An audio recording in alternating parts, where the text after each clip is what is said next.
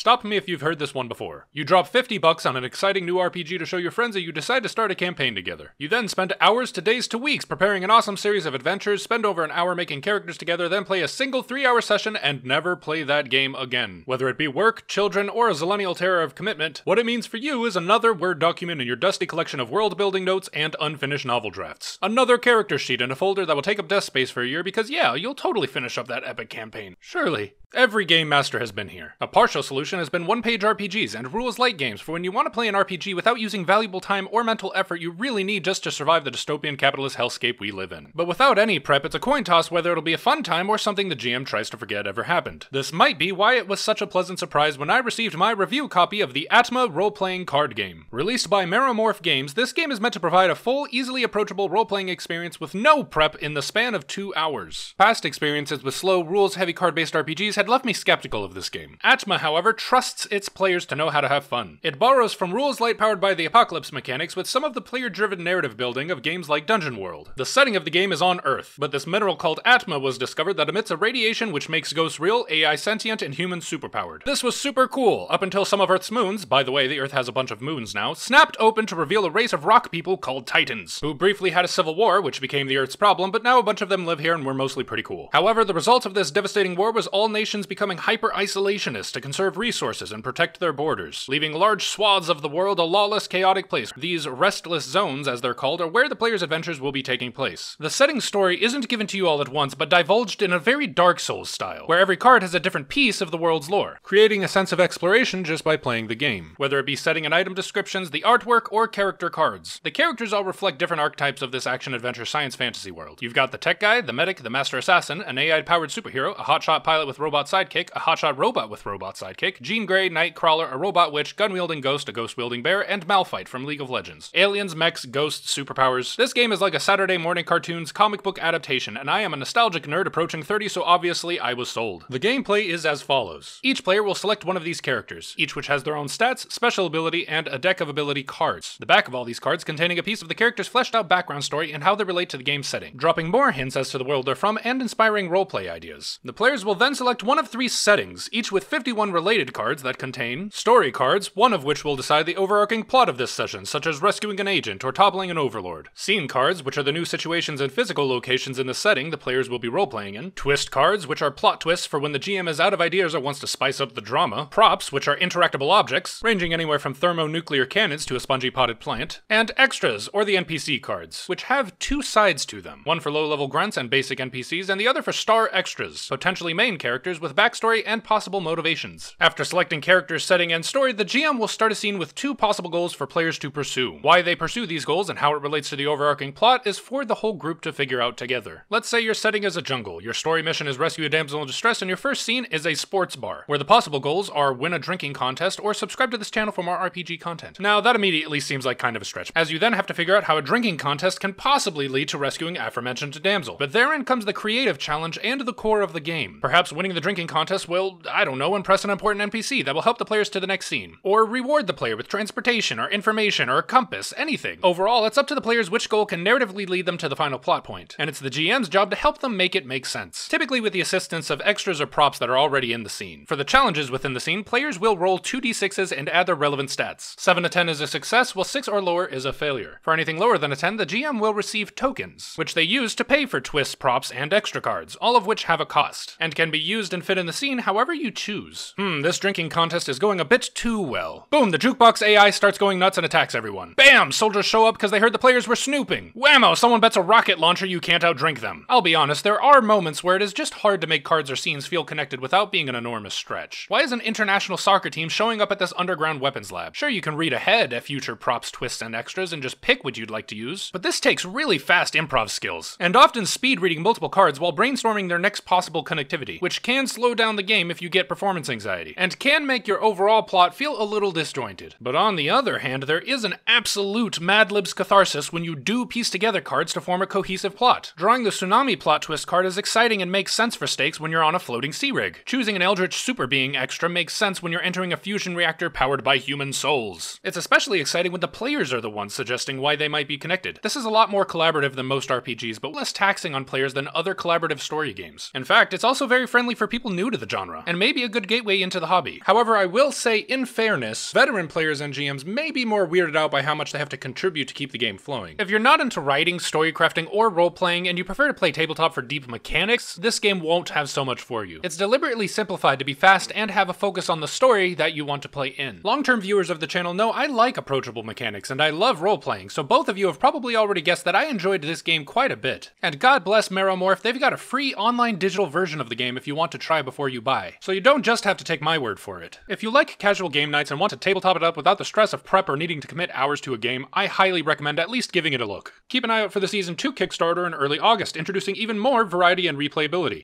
If you want more reviews and geeking out over games, please subscribe to the channel for more RPG content. Until next time, everybody, I hope you get a game in this week.